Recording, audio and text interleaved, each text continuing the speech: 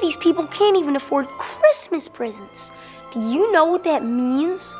Yeah, all the good toys are still in stock.